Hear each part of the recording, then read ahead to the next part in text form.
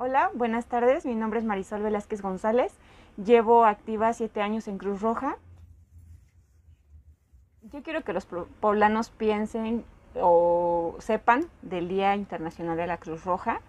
Eh, también quiero que sepan que somos una institución eh, humanitaria, que brindamos un servicio de forma gratuita. Y pues, pues también sería pedir un poco de respeto hacia nosotros y también tolerancia y comprensión.